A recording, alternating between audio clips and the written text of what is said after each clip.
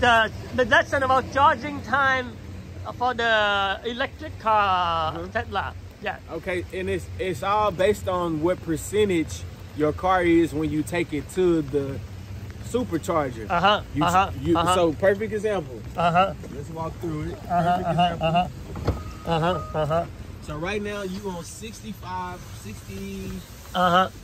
you are on 66%. Uh huh. Uh huh. So let's just say you you hooked up your car when it was on 18%. Uh huh. Uh huh. It's gonna take it's gonna take a little bit longer because Uh huh.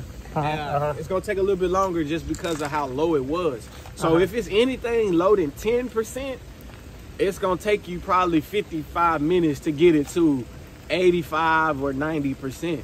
So just try to keep it right at 20 or 25 between that range because if you only charging it up to 80, it's gonna take about 30 minutes.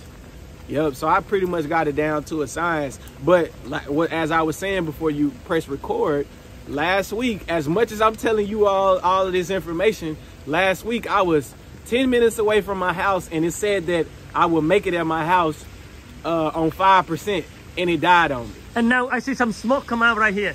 Is it from the heat in the car? No, no, that's